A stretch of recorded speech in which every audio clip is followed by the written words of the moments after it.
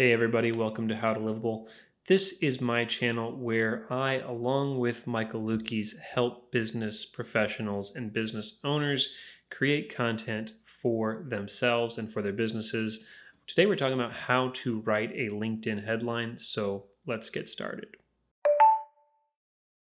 Okay, so what do you need for a good LinkedIn headline? Uh, a couple of things. Let's take a look at them. Number one, you need to be clear. Number two, you need to deliver value. And number three, you need to be memorable. If you can accomplish these three things in a LinkedIn headline, then I would consider it a great LinkedIn LinkedIn headline. So let's take a look at a few. So I just went through my LinkedIn feed and took a look at some people who popped up, both showing good and bad examples of this.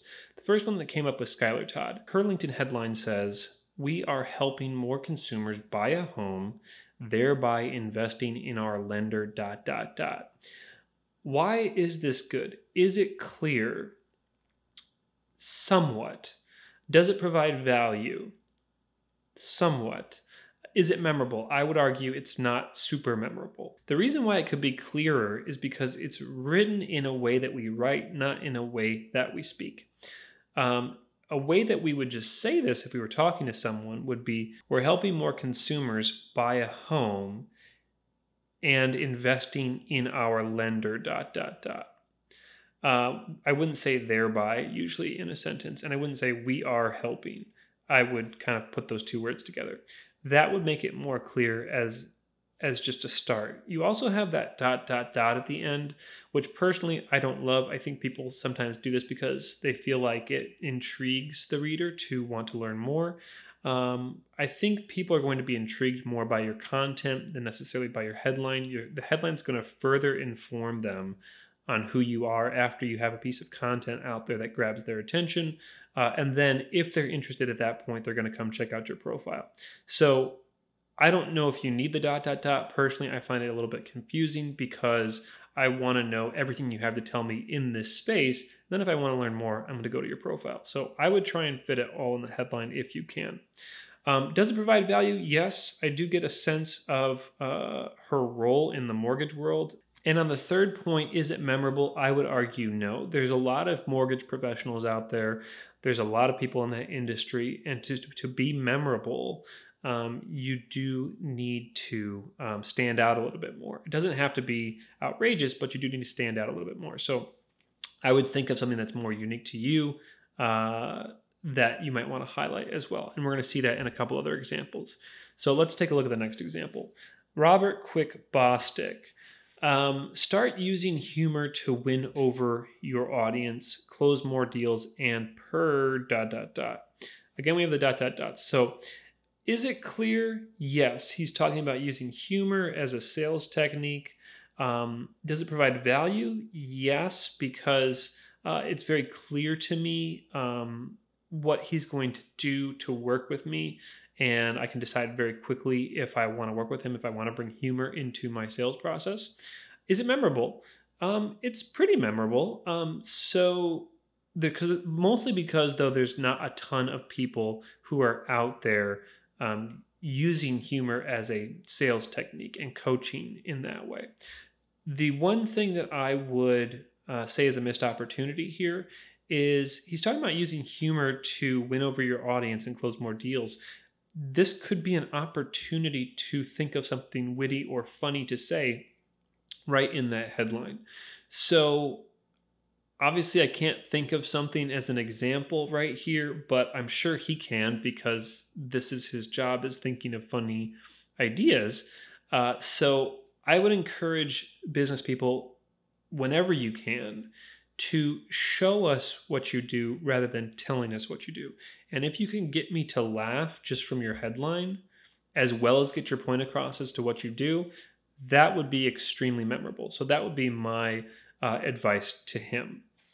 Let's take a look at another example here. Marcus A. Chan, I happen to know Marcus on LinkedIn. He is a great guy. Let's go back here. Um, sales coach helping AEs and B2B sales pros earn 50 to 100K more this dot dot dot.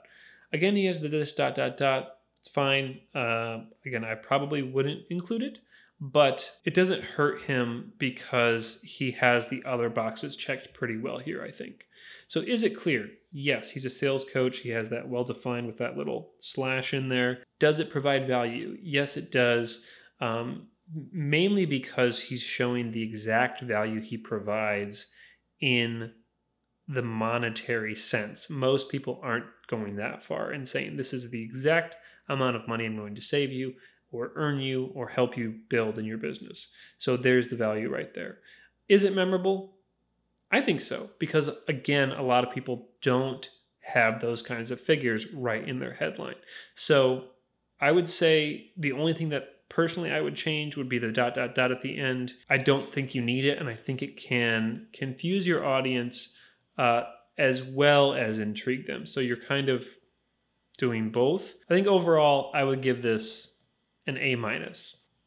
Okay, Ashley Gravano, coffee connoisseur with the coffee cup icon, VP Product Solutions. Uh, I have also talked to Ashley before, which is probably why she showed up in my feed. Um, I like this a lot because is it clear? Yes, she's the VP Product of Solutions who loves coffee. Does it provide value? I would argue yes, it does because uh, it's entertaining and it gives me a touch point as a coffee drinker so that when I do talk to her, I know we can kind of open and we're going to have something in common. Even if I'm not a coffee lover, uh, I can talk about how much I don't like coffee and she can tell me why she does.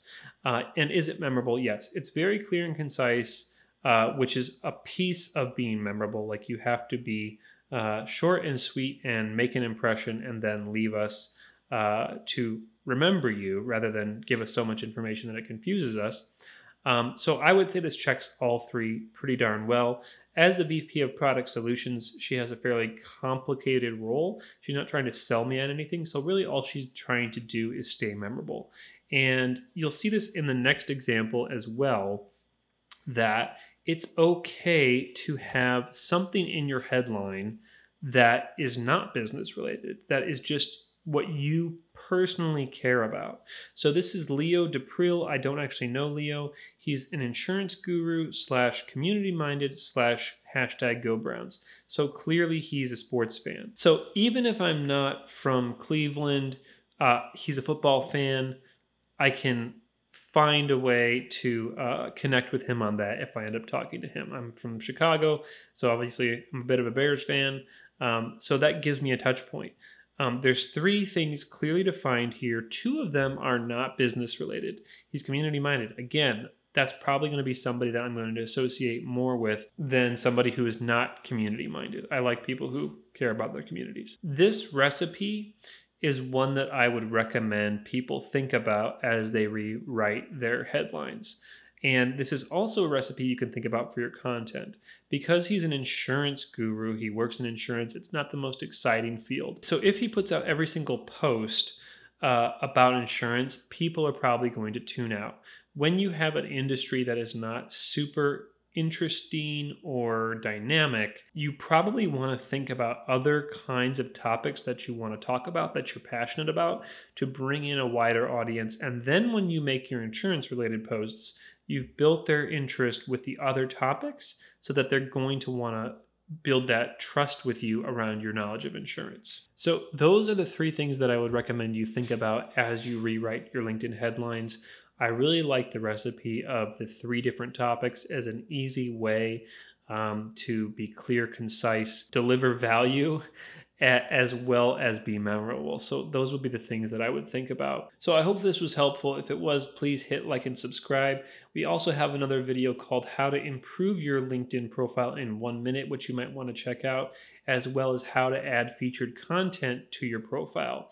Uh, we create content for business owners as a done for you service as well. Uh, Michael Luchies is a content writer, and I own Cleaver Creative, which is a video production company. And together we create content for businesses.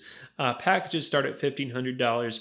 If that is interesting to you, please email us at info at cleavercreates.com and we'll have somebody get in touch with you uh, to talk about what you need. Thanks much for watching, and we will be back next week.